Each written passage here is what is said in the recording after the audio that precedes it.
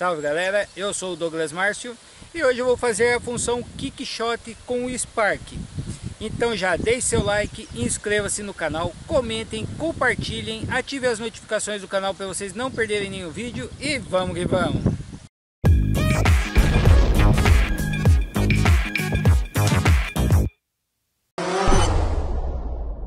Tá muito vento hoje aqui, mas eu vou tentar fazer rapidinho essa função para vocês.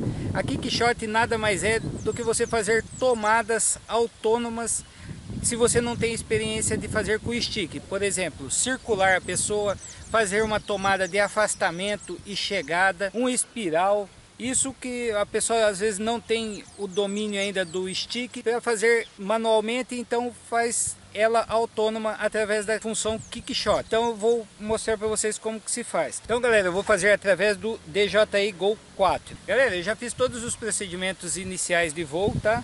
Então, ó, do lado esquerdo aqui tem o radinho, tá? É só clicar nele e na função Click Shot. Ele fala para mim que eu tenho que estar em voo. Então eu vou levantar voo aqui para mostrar para vocês, tá? Já está começando a chover aqui, galera, então eu vou fazer bem rapidinho.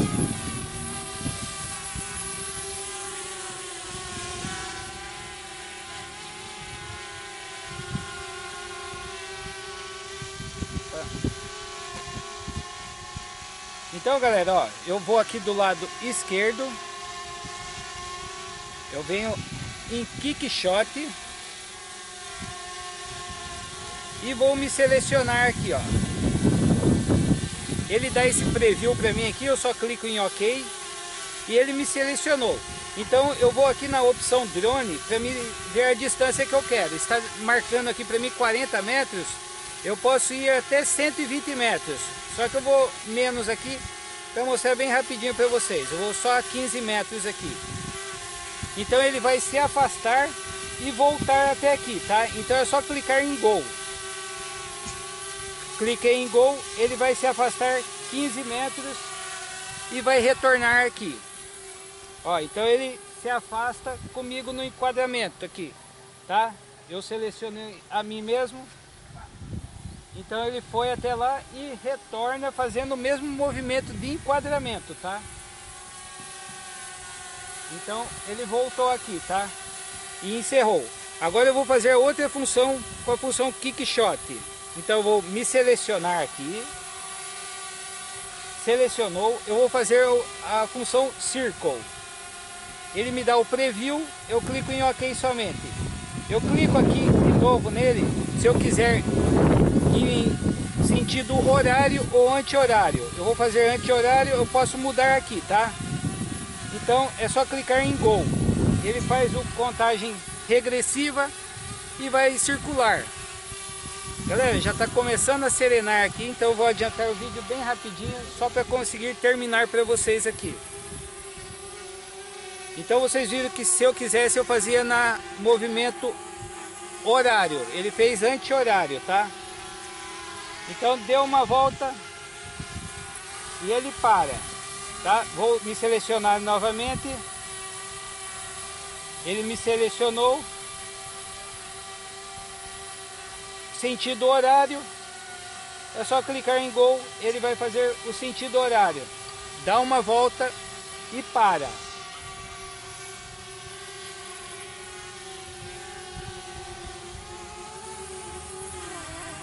Ó, ele deu uma volta no sentido horário e encerra, tá? Agora eu vou fazer, vou me selecionar novamente, é só clicar em cima do que você quer que selecione, tá?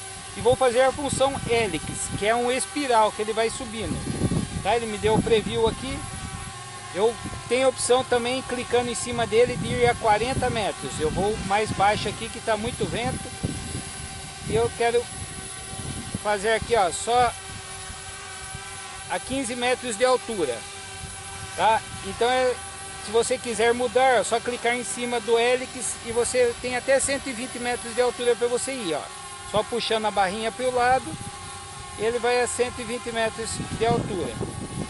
Eu vou deixar a 15 somente. E aqui do lado você também tem a opção clockwise, counterclockwise e clockwise. Eu só vou fazer a clockwise. Então é só clicar em Go. Ele faz a contagem regressiva e começa. E vocês podem ver que ele começa a gravar sozinho também a câmera, tá?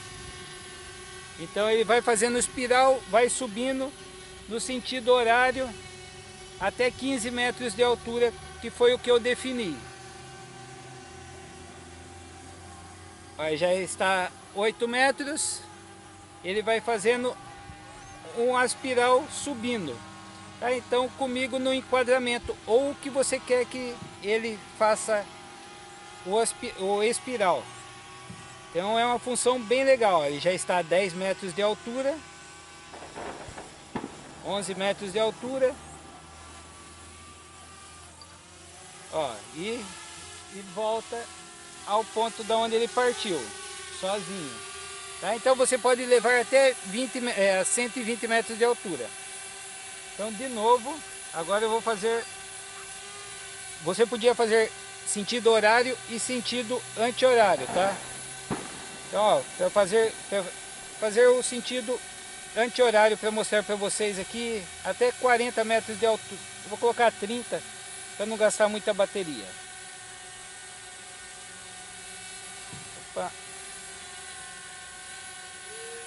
30 metros de altura e clico em Go.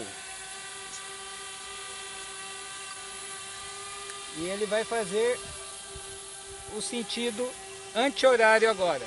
Aquela hora ele estava no sentido horário e vai fazer o sentido anti-horário. E vai subir até 40 metros de altura. E vai retornar. Ó, já está a 11 metros. 13 metros. E 15 metros de altura.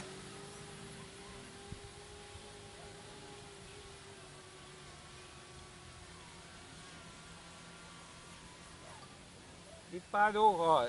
Ele não vai exatamente a distância que a gente pede aqui, tá galera? Então tem que ficar esperto nisso e, na, e no local também para não bater em nada, tá? E ele retorna sozinho, olha que ele, ele simplesmente dá uma volta completa. Em espiral ele vai simplesmente subindo, na hora que ele completa 360 ele volta. Andorinha querendo atacar meu Spark. E vamos retornar aqui. E fazer a última função aqui, galera, que é... Deixa eu mostrar aqui para vocês.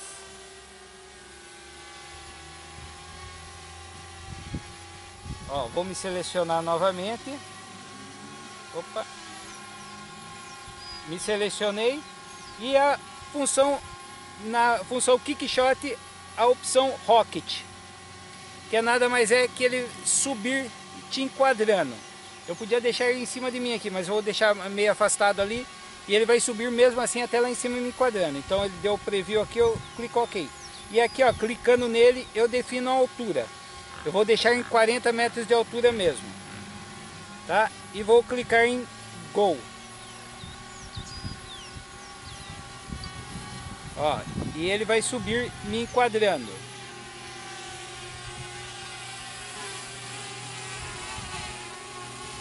Ó, e ele sobe. Está a 14 metros de altura. 22 metros de altura. 32, 33, 34, 37, 43 metros de altura ele foi. E ele já volta automaticamente sozinho, tá? Enquadrando. Enquadrando aqui que foi o objeto que eu selecionei. Essa função kick shot, galera, é bem legal mesmo, eu gostei. Isso aqui para quem está iniciando, fazer umas tomadas fica bem legal. Então ele desce praticamente onde ele foi. Então eu vou descer ele aqui, galera. Então deixa eu só recapitular aqui essa a Rocket aqui, ela só simplesmente tem a, opção até 120 metros e já vem definido por 40 metros aqui. Então com a função kick shot tem as quatro opções. A drone, tá? A circle, a helix e a, a rocket. Que são, eu vou descer ele aqui para falar com você. Deixa eu parar a gravação aqui. Galera, vocês viram que essa função kick shot é bem legal para fazer tomadas de circular a pessoa ou objeto, de afastamento, enquadra... ele sempre está enquadrando o objeto selecionado. Então, para tomadas autônomas aí, que se você não tem muita manha no stick, fica bem legal. Então, para quem está iniciando, é uma excelente opção para você fazer suas melhores imagens, tá? Então eu espero que vocês tenham gostado desse vídeo.